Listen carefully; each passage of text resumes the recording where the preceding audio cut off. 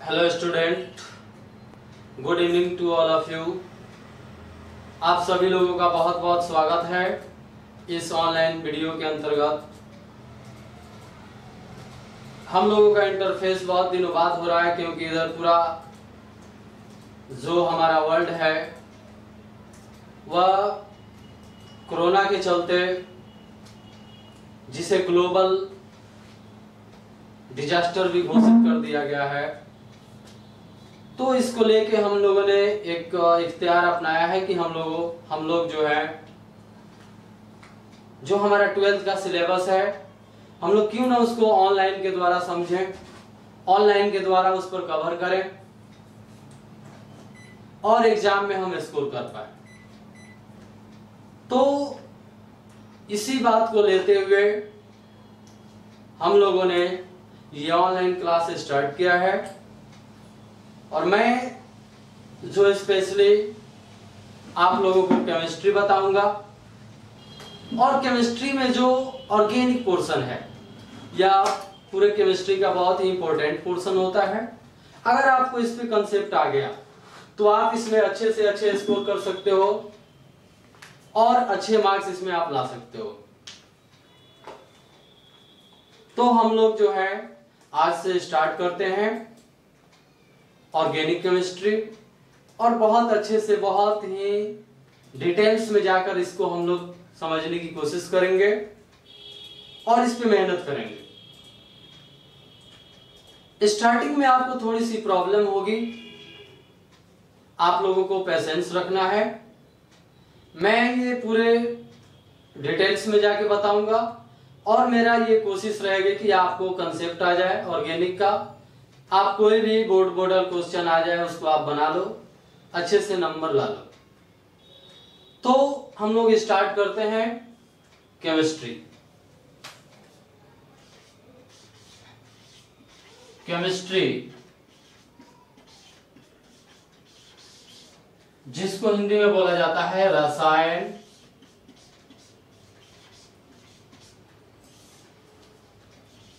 शास्त्र।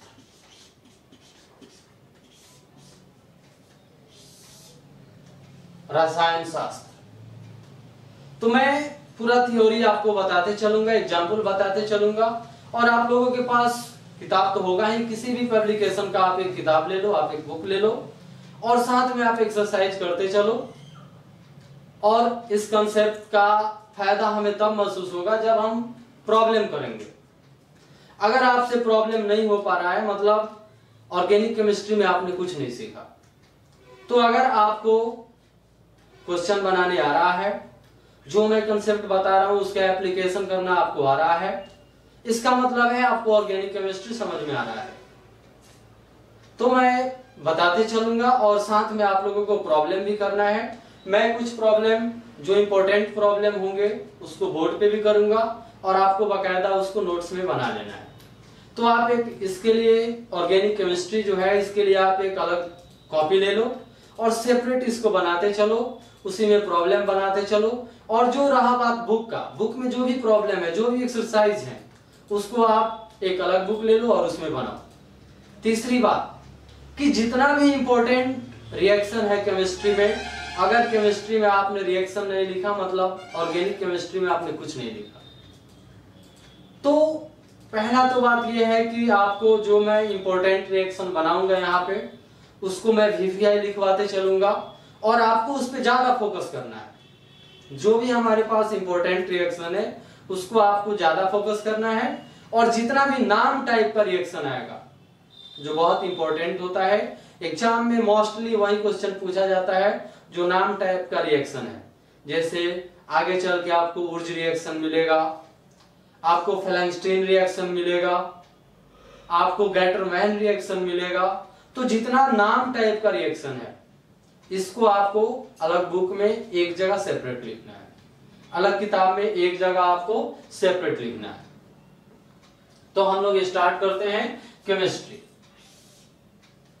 अब जैसे हम लोगों ने इलेवेंथ में डिस्कस किया था कि पूरे केमिस्ट्री को जो है तीन पोर्शन में डिवाइड किया जाता है और पहला पोर्शन जो है वह होता है भौतिक रसायन, दूसरा पोर्शन जो होता है वह होता है ऑर्गेनिक यानी कि कार्बनिक रसायन, और तीसरा पोर्शन आपके पास जो है वह होता है इनऑर्गेनिक केमिस्ट्री यानी अकार्बनिक रसायन।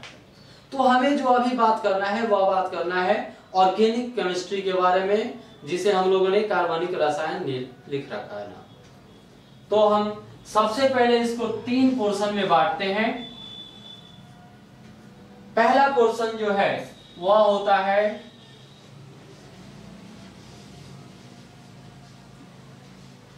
फ़िज़िकल केमिस्ट्री भौतिक रसायन।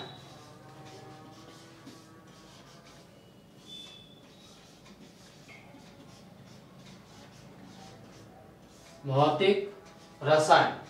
दूसरा पोर्शन जो है अपने पास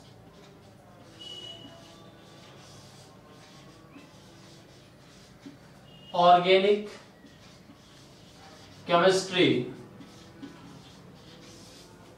कार्बनिक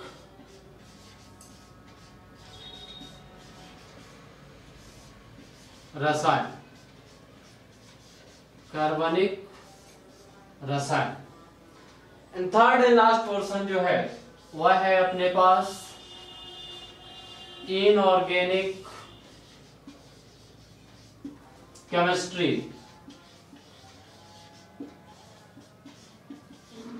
इनऑर्गेनिक केमिस्ट्री अकार्बनिक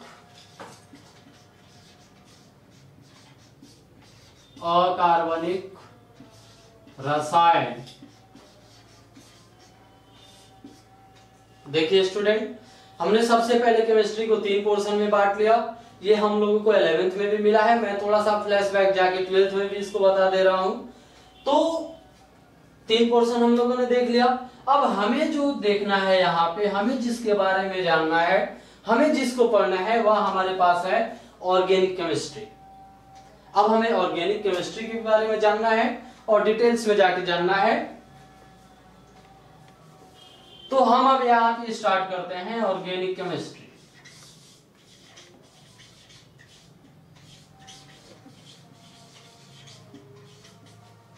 ऑर्गेनिक केमिस्ट्री, कार्बनिक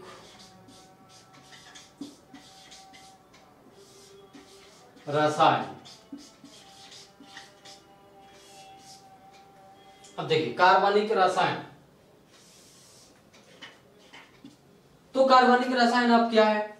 आप लोगों ने इलेवेंथ में भी देख रखा है। मैं यहाँ पे ट्वेल्थ में भी थोड़ा सा बताऊँगा। इन शॉर्ट में, कार्बनिक रसायन। यानी रसायन शास्त्र की वैसी ब्रांच, जिसमें कार्बन से संबंधित यौगिकों के बारे में अध्ययन किया जाए। यानी कार्बन और उससे रिलेटेड जो भी कंपाउंड्स बन रहे हैं, अगर उसके बारे में अध्ययन किया जाए तो उसको हम लोग बोलते हैं ऑर्गेनिक केमिस्ट्री यानी ऑर्गेनिक केमिस्ट्री और इसका जो सोर्स है, इसका जो स्रोत है वह मेनली लिविंग ऑर्गेनिज्म होता है। यानी जो भी लिविंग ऑर्गेनिज्म है जो भी जीवित जीव हैं, उनसे ही यह प्राप्त होता है। इसलिए इसके सोर्स के बारे में ज़्यादा बताया जाता है कि ये जहाँ से प्राप्त होता है, वह मेनली लिविंग ऑर्गेनिज्म से ही प्राप्त होता है, यानी जीवित जीव की अवशेषों के द्वारा। जैसे पेड़ पौधे जीव जंतु ये इसका क्या है मेन सोर्स है। तो अब हमें देखना है ऑर्गेनिक केमिस्ट्री जिसका डेफिनेशन अभी आप लोगों ने देखा, मैंने बोला। अब देखिए। अब हम आते हैं ऑर्गेनिक केमिस्ट्री एलेवेंथ में हम लोगों ने देख देख रखा है नॉमन के बारे में, इसके आइसोमर्स के बारे में, इसके मैकेनिज्म के बारे में। अब हमें क्या देखना है? हमें ट्वेल्थ में देखना है। तो अब मैं आप लोगों को स्टार्ट करने जा रहा हूँ। ट्वेल्थ का ऑर्गेनिक केमिस्ट्री कितने चैप्टर हैं, कहाँ से कितने नंबर के क्वेश्चन आएँगे तो उसको अब हम लोग डील्स में देखेंगे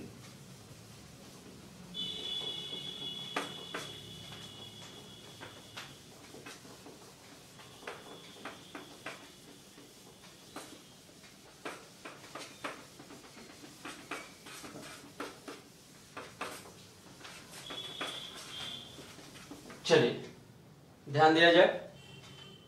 हम लोगों को देखना है ऑर्गेनिक केमिस्ट्री।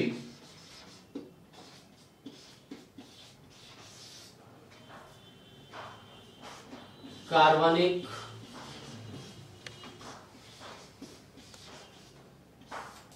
रसायन।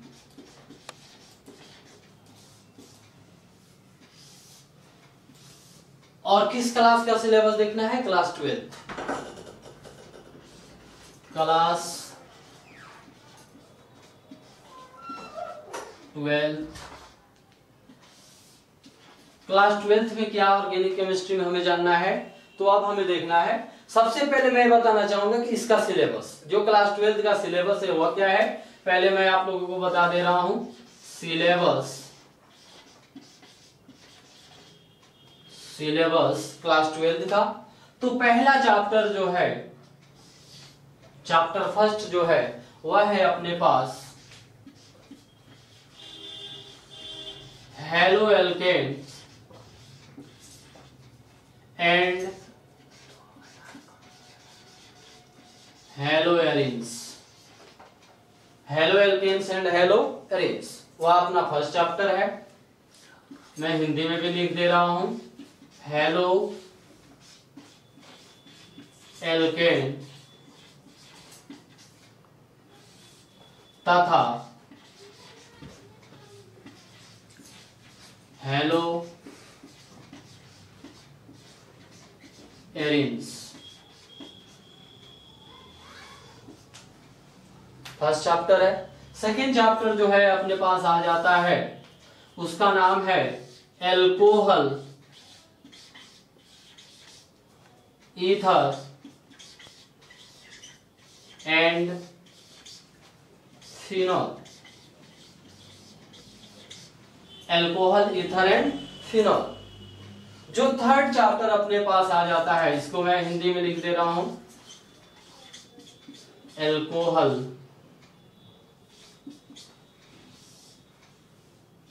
ईथर तथा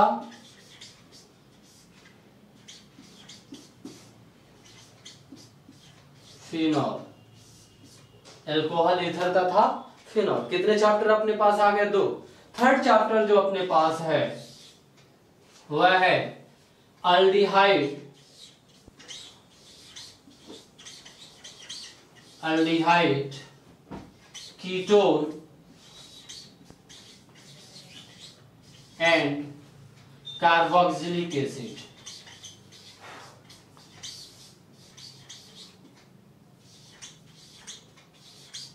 Aldehyde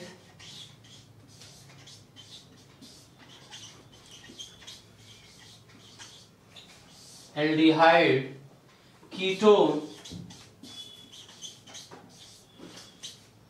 तथा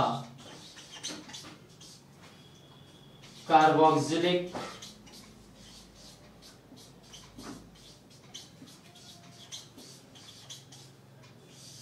कार्बोक्सिलिक अम्ल तो कितने चैप्टर अपने पास आ गए? तीन। जो अपने पास फोर्थ चैप्टर है फोर्थ चैप्टर मैं यहाँ लिख दे रहा हूँ। फोर्थ चैप्टर जो है, वह है compound compound content nitrogen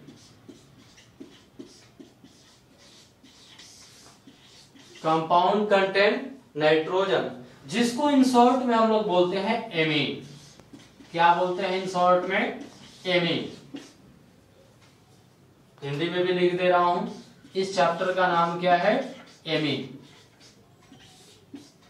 ठीक है? और जो अपने पास अब फिफ्थ चैप्टर है चैप्टर कौन सा है? फिफ्थ वह है बायोमोलिकुल्स क्या है? बायोमोलिकुल्स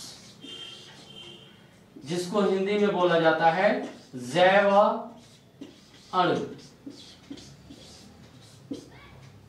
जो लास्ट सेकेंड लास्ट चैप्टर जो है अपने पास सिक्स वह है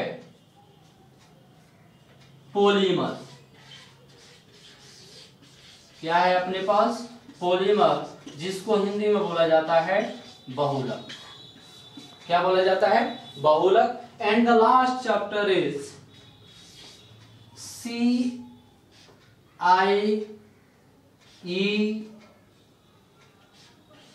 D L यानी अगर इसको डिटेल्स में लिखा जाए तो chemistry chemistry in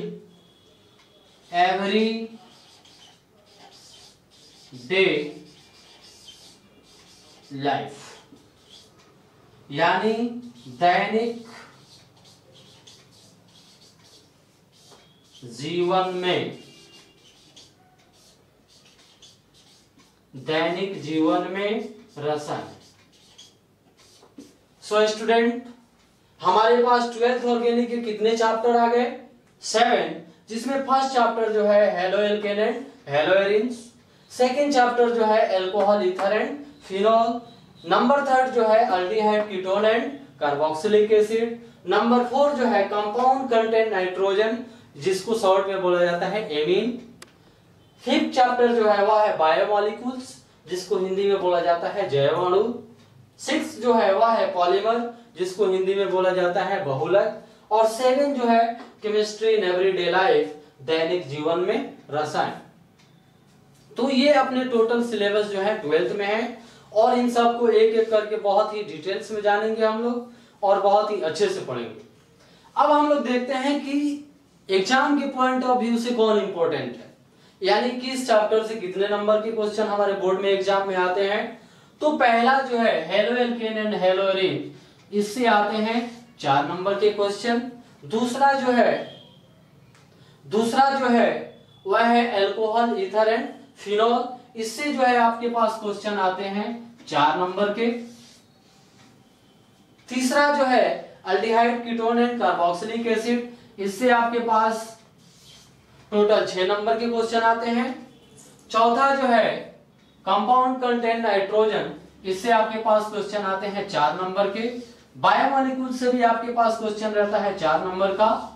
और जो लास्ट का यूनिट है पॉलीमर और केमिस्ट्री इन एवरीडे लाइफ इससे तीन तीन नंबर के क्वेश्चन आपके बोर्ड में पूछे जाते हैं। यानी टोटल सत्तर नंबर के एग्ज़ाम में आपके पास ऑर्गेनिक के कितने क्वेश्चन आ सकते हैं? अट्ठाईस नंबर के। जिसमें पहला यूनिट जो है आपके पास है हेलो हेलो इससे नंबर चार के क्वेश्चन आते हैं। Alcohol and ether alcohol ether and phenol इससे आपके पास क्वेश्चन पूछे जा सकते हैं चार नंबर के।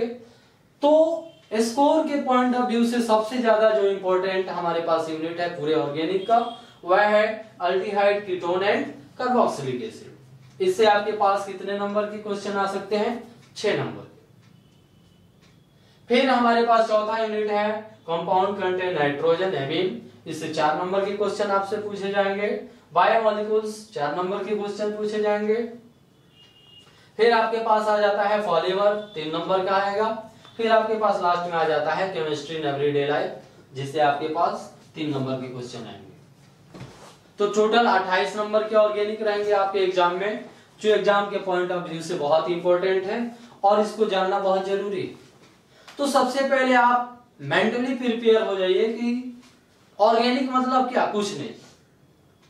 हम लोग बिल्कुल इसको जड़ में जाके पढ़ेंगे और ये महसूस होना चाहिए, मुझे पढ़ाने में भी, आपको पढ़ने में भी, कि यह कुछ नहीं है। हमें इस पे ज़्यादा से ज़्यादा मेहनत करना है और जो इंपॉर्टेंट रिएक्शन है, उस पर आपको ज़्यादा फोकस करना है। और पहला बात, कि रिएक्शन आपको ज़्यादा टाइम तक तब याद रहेगा जब उसको आप रिटर्न में लिख लिख के याद कीजिए। जब भी आपको टाइम मिल रहा है जो इंपॉर्टेंट रिएक्शन है कॉपी और पेन उठाया, उसको लिख लिया। तो ऐसे जो आपके माइंड में रिएक्शन रहेंगे, वो ज़्यादा समय तक रहेंगे। यानी कि चलो एक बार देख लिया, याद हो गया, हटाओ, याद है एग्ज़ाम में लिख देंगे। वो बात नहीं। हमें उसको बार बार बार बार लिख के क्या करना है? याद रखना है। तो हम अब याद स्टार्ट करते हैं। ऑर्गेनिक केमिस्ट्री का पहला unit halo alkane and halo arenes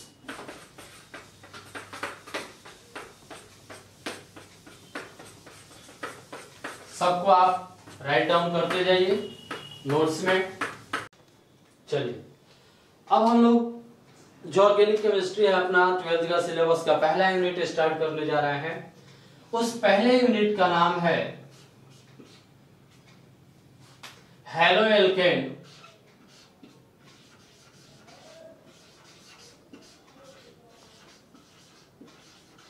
halo alkanes and halo arenes halo alkanes and halo arenes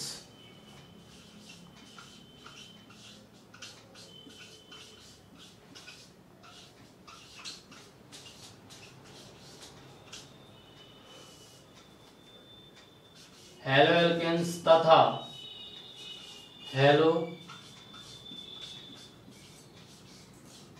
arenes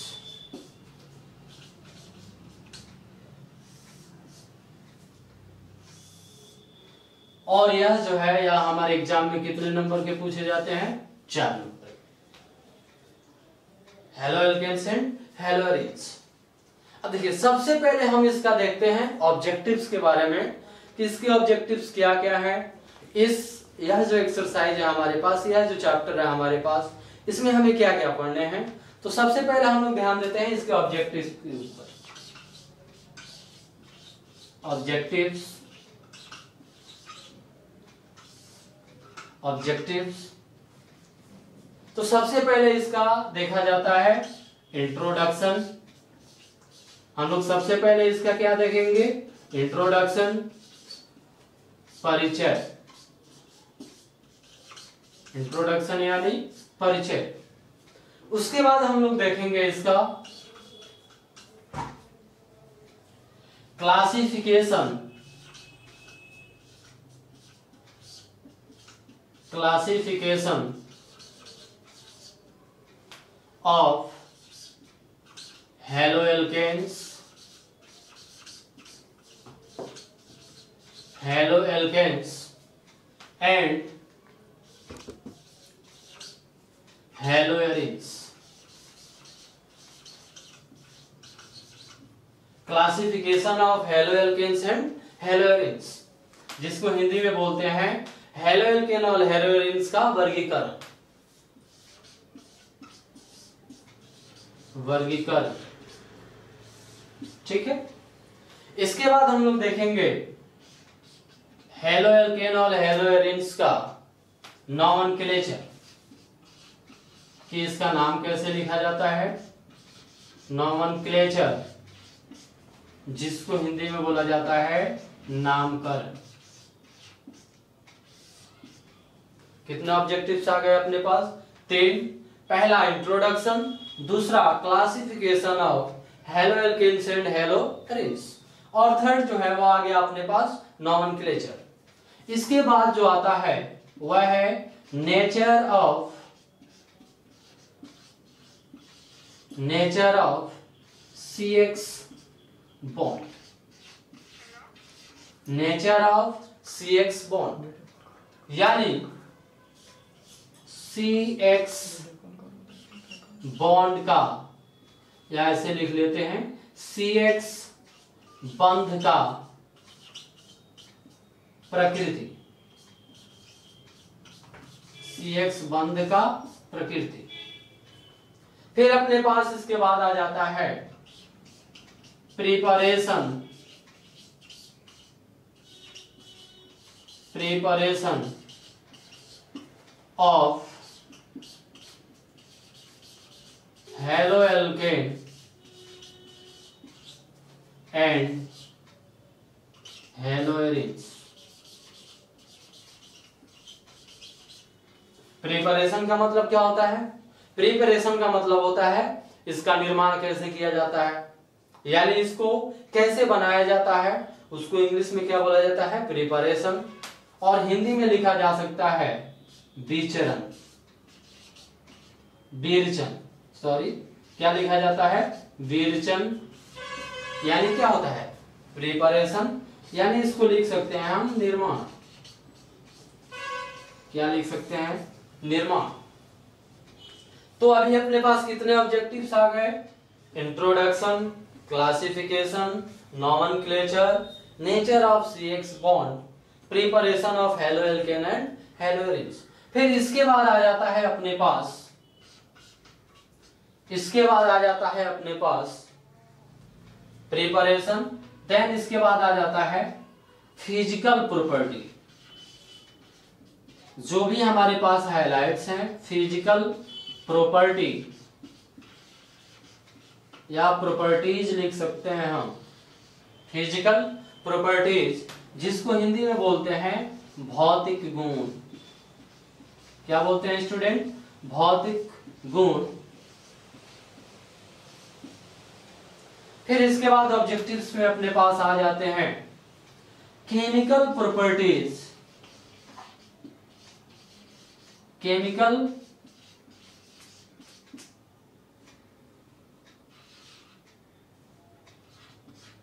chemical properties जिसको बोलते हैं रासायनिक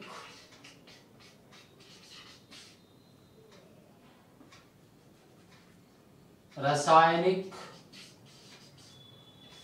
गुण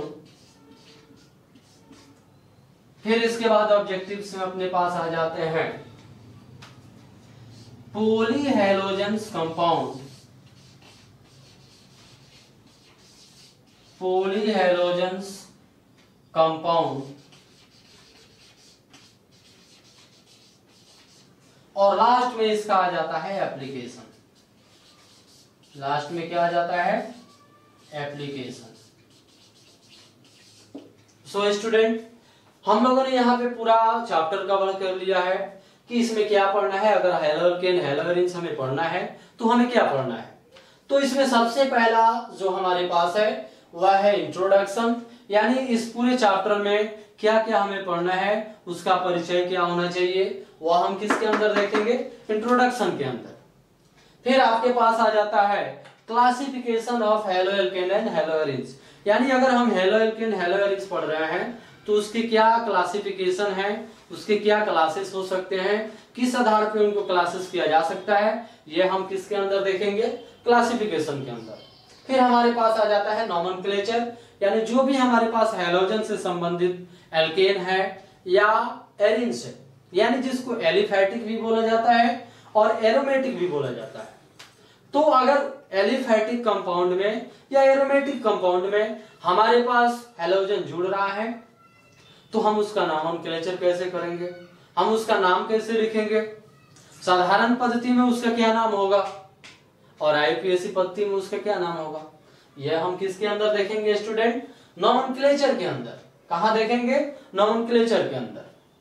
फिर हमारे पास आ जाता है nature of C X bond यानी nature of C X bond C X मतलब क्या? सी मतलब क्या होता है? कार्बन और एक्स एक्स यहाँ पे इंडिकेट किया गया है, यानी x इंडिकेट करता है, x बराबर हो जाता है हेलोजन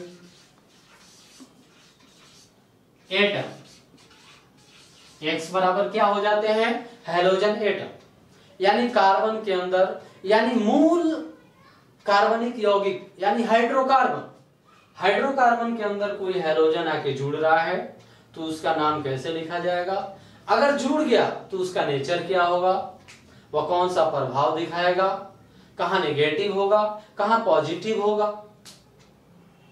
तो ये सब चीज़ें हमें देखना है nature of C X bond के अंदर। इसके बाद हम आ जाते हैं preparation of halo alkane and haloarenes यानी हेलो एल्केन्स हम कैसे प्राप्त करेंगे? हेलो एलिन्स हम कैसे प्राप्त करेंगे? तो इसको हमको देखना है preparation of halo alkane and haloarenes के अंदर फिर नेक्स्ट ऑब्जेक्टिव अपने पास आ जाता है फ़िज़िकल प्रॉपर्टी यानी हेलो एल्केन हेलो एलिन्स का फ़िज़िकल प्रॉपर्टी क्या है? या किस कलर का होता है? इसका मेल्टिंग पॉइंट क्या है? इसका बॉइलिंग पॉइंट क्या होगा? डायपोल मोमेंट इसका क्या है? तो ये हम देखेंगे फ़िज़िकल प्रॉपर्टी के अंदर।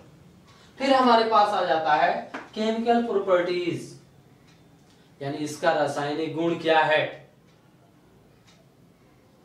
या एयर से रिएक्शन कैसे करेगा? या वाटर के साथ रिएक्शन कैसे करेगा? जिंक के साथ कैसा व्यवहार रहेगा इसका? या मेटल यानी मैग्नीशियम के साथ कैसे रिएक्शन करेगा?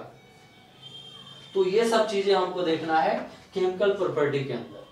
फिर हमारे पास आता है फोली हेलोजन कंपाउंड यानी इसके अंदर, अगर हमारे पास दो या दो से ज़्यादा हेलोजन एटम आ रहे हैं कंपाउंड के अंदर तो सब किसके अंतर्गत आ जाते हैं? पोलीहेलोजन के अंदर. वहाँ पे हमें मिलेगा अनस्थेटिक के रूप में किए जाने वाला क्लोरोफॉर्म जिसका बहुत ही अहम जो हमारे पास मेडिसिन वगैरह है तो क्लोरोफॉर्म का वहाँ बहुत ही उपयोग होता है. यहाँ पे हमें हेलोफॉर्म रिएक्शन मिलेगा. तो ये सब चीज़ें हम किसमें देखेंगे? पोलीहेलोजन के अंदर। फिर लास्ट जो अपने पास है एप्लीकेशन यानी हेलोजन का क्या एप्लीकेशन है हमारे ज़िंदगी में? हम कहा इसको यूज़ कर सकते हैं? जैसे जो भी है हम इसमें जो भी कंपाउंड पढ़ेंगे, उसका हमारी लाइफ में बहुत ही उपयोग है। जैसे हम लोग सॉप यूज़ करते हैं, साबुन।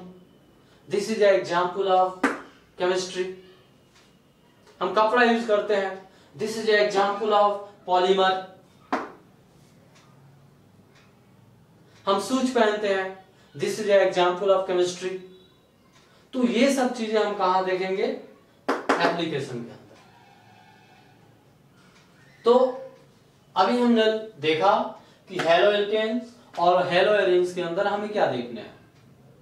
तो पूरा बोर्ड पे लिखा हुआ है। आप इसको नोट डाउन कर लीजिए। फिर हम लोग आगे बढ़ते हैं।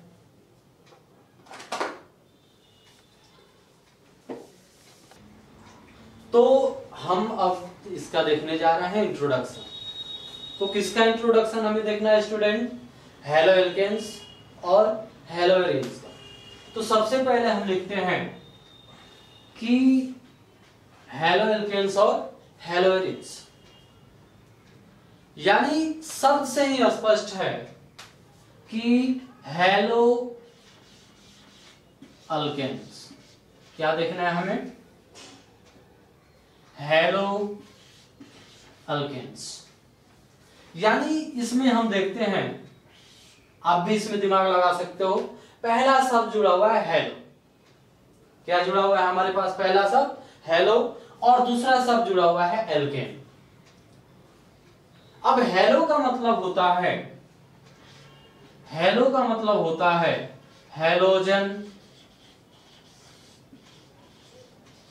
एटम क्या होता है स्टूडेंट हेलो का मतलब हेलोजन एटम यानी हेलोजन एटम और अल्केन अल्केन मतलब आप जानते हैं ये हाइड्रोकार्बन हाइड्रोकार्बन अब हेलो मतलब क्या हमने लिखा है? हेलोजन यानी कोई भी हेलोजन एटम अगर किसी एल्केन में जुड़ जाए, कोई भी हेलोजन एटम अगर किसी कहा जुड़ जाए, अल्केन के अंदर जुड़ जाए तो वह क्या बन जाता है? Halo alkane. जैसे हमने देखा, अल्केन। क्या देखा हमने? अल्केन। और इससे अगर हम अल्केन से एक हाइड्रोजन एटम को निकाल देते हैं, क्या निकाल दिया हमने? एक हाइड्रोजन एटम और उसके स्थान पे मैंने जोड़ दिया एक हेलोजन एटम यानी अल्केन के अंदर से हमने क्या निकाल दिया? एक हाइड्रोजन एटम और उसके साथ जोड़ दिया एक हेलोजन एटम यानी हेलोजन कहने का क्या मतलब होता है? हेलो और कहा जुड़ा? एल्केन के अंदर। तो क्या बन गया? हेलो एल्केन स्टूडेंट क्या बन के आ गया हमारे पास? हेलो एल्केन इसको एक और शब्द में बोला जाता है, अल्काइल हैलाइट क्या बोला जाता है? अल्काइल हैलाइट देखते हैं फॉर्मूला। एल्केन का फॉर्मूला हमारे पास क्या होता है? C N S two N plus two C N S two N plus two अब अगर इसमें से एक हाइड्रोजन हमने निकाल दिया तो टू की जगह पे हमारे पास क्या आ जाएगा? वन और वन की जगह पे क्या जुड़ जाएगा? हेलोजन यानी एक हाइड्रोजन मैंने निकाला और उसके स्थान पे क्या जोड़ दिया? एक हाइड्रोजन तो क्या बन के आ गया हमारे पास formula C N H two N plus one और इसके साथ क्या जुड़ गया? एक्स या हमारे पास बन के क्या आ गया? अल्काइल हैलाइट क्या बन के आ गया? अल्काइल हैलाइड जिसको हम एक और लैंग्वेज में लिख सकते हैं। हेलो एल्किन क्या लिख सकते हैं स्टूडेंट हेलो एल्किन ओके अब हम लोग देखते हैं कि हम लोग हेलो एल्किन का एक सर्टिफाइड डेफिनेशन कैसे बता सकते हैं? कि भाई, अगर आपसे कोई पूछ रहा है कि आप बताओ ट्वेल्थ का स्टूडेंट तो हेलो एल्किन क्या है? तो आप उसको कैसे डिफाइन करोगे? तो आपको बताना है, मैं बहुत ही शॉर्ट में बता रहा हूँ और बहुत ही ट्रिकली बता रहा हूँ कि आपको सीधे बता देना है कि अगर किसी एलिफेटिक कंपाउंड में, किसमें? एलिफेटिक कंपाउंड अगर किसी एलिफेटिक कंपाउंड में कोई हाइड्रोजन परमाणु हटता है रिप्लेस होता है और उस स्थान पे अगर कोई हेलोजन जुड़ जाता है तो उस कंपाउंड को बोला जाता है हेलोएल्केन क्या बोला जाता है? हेलोएल्केन यानी, यही से हम लोग समझते हैं कि यहाँ पे अपने पास क्या है? एलिफेटिक कंपाउंड है। और यहाँ से एक हाइड्रोजन क्या हुआ? एलिमिनेट हुआ। यानी इस कंपाउंड से एक हाइड्रोजन क्या हुआ है? हटा है। और उसको किसने रिप्लेस किया है? हेलोजन तो अल्केन के अंदर क्या आ गया? हेलोजन तो ये हमारे पास क्या बन के आ गया? हेलोजन सिमिलरली सिमिलरली सिमिलरली अगर हम बात करते हैं हेलोरिन्स का, किसका बात करते हैं? हेलोरिन्स का। तो सेम वही कंसेप्ट है। हमने क्या ले लिया? एरिन ले लिया। एरिन ले लिया। एरिन से क्या हटा दिया हमने? हाइड्रोजन एटम क्या हटा दिया? हाइड्रोजन एटम और उसके साथ क्या लगा दिया जाए? हेलोजन क्या लगा दिया हमने? हेलोजन तो यह क्या बन गया? हेलोरिन क्या बन गया स्टूडेंट हेलोरिन ओके यहाँ तक क्लियर है? तो एरिन से एक हाइड्रोजन जब रिप्लेस हुआ, किसके किसके द्वारा रिप्लेस हुआ हुआ? हेलोजन के द्वारा। तो क्या बन गया हमारे पास? हेलोरिन यानी जिसको क्या लिख सकते हैं हम? एराइल हैलाइड क्या लिख सकते हैं? एराइल हैलाइड तो सेम डेफिनेशन जैसे हमने हेलो एल्कीन का बनाया सेम डेफिनेशन किसका हो जाएगा? हेलोरिन का। यानी जब किसी एरोमेटिक कंपाउंड से कोई हाइड्रोजन एटम या हाइड्रोजन एटम किसी हाइड्रोजन एटम के द्वारा रिप्लेस होता है तो जो हमारे पास रिज़ल्ट जो हमारे पास कंपाउंड बन के आते हैं, उसको हम लोग क्या बोलते हैं? एराइल हैलाइड या हेलो एरिन्स क्लियर जैसे मान लीजिए, हमारे पास एरोमेटिक कंपाउंड कहने का मतलब क्या होता है? बेंजीन रिंग क्या मतलब होता है? बेंजीन रिंग तो बेंजीन रिंग का फॉर्मूला हमारे पास क्या है? सी सिक्स और एच सिक्स सी सिक्स और एच सिक्स अब इसमें से हमने एक हाइड्रोजन एटम हटा दिया। H और इसके साथ एक है हेलोजन जोड़ दिया X अब देखिए, यहाँ पे ध्यान दीजिए, हमारे पास कितने हाइड्रोजन एटम है? छह। छह में से अगर एक हट गया तो कितना बचा? पाँच। यानी इसको हम लिख सकते हैं फर्दर सी सिक्स और एच फाइव इंटू यहाँ पे क्या आ गया? अपने पास जुड़ गया एक्स तो ये क्या बन गया? एराइल हेलेन तो ये क्या है? ये हमारे पास इंट्रोडक्शन है हेलो एल्केन का और हेलो एरिन्स हमने हेलो एल्केन्स भी बनाया हेलो एरिन्स भी बनाया। मैं ये आशा करता हूँ कि इससे और आसान तरीका और नहीं हो सकता। और इसको आप लोग राइट डाउन कर लीजिए अपने कॉपी के अंदर। एक दो एग्ज़ाम्पल मैं इसका बता दे रहा हूँ। जैसे मान लीजिए, हमारे पास है सी एच फोर इसका मैंने रिएक्शन करा दिया हेलोजन के साथ। सी एल टू मैंने ले लिया। और यह बन गया सी एच थ्री और इसके साथ आगे क्या जुड़ गया स्टूडेंट क्लोरीन तो यह क्या बन गया एक? हेलो एल्केन क्या बन गया? हेलो एल्केन इसको आई ई करके लिख लीजिए। तो हम लोगों ने इंट्रोडक्शन में देखा halo alkane and halo so मैं ये आशा करता हूँ आप लोगों को समझ में आया होगा। अब जो भी इस पे प्रॉब्लम है, आप लोग देखो किताब से। और उसको लगाइए। जहाँ प्रॉब्लम हो रहा है, एक बार थ्योरी देख लीजिए, फिर अटेम्प्ट कीजिए थ्योरी देख लीजिए, फिर अटेम्प्ट कीजिए। और सभी लोग कोई ना कोई एक बुक ले लीजिए और लगातार प्रॉब्लम को बनाते चलिए। मैं यहाँ बताते चलूँगा, अब साथ में प्रॉब्लम भी करते चलना है। और जो भी आपके पास प्रॉब्लम आएगा, उसको किताब से देखिए और पढ़िए उसको। अब मैं आज के लेक्चर में इतना ही पे एंड करता हूँ। फिर नेक्स्ट लेक्चर के लिए हमारे साथ आप लोग जुड़े रहिए।